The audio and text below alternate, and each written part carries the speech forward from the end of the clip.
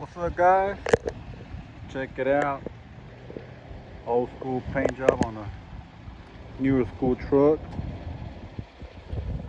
The 80 model. The 70s.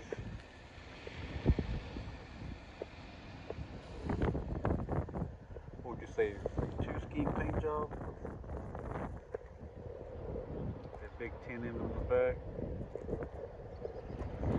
And the Chevrolet on the tailgate.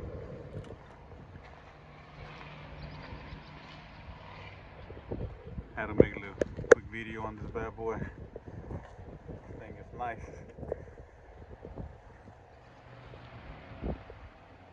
Some people love it, some people hate it. I myself, I like it a lot. I would do a, a white and blue one.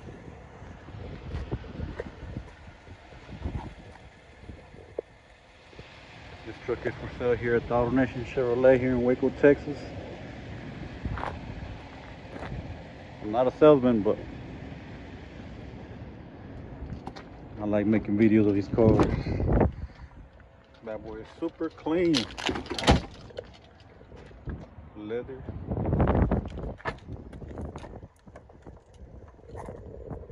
Fresh, tra- fresh trade in. So damn hot I can't even talk right.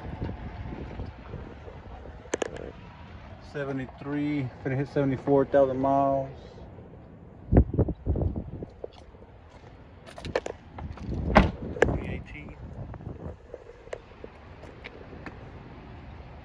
Duramax.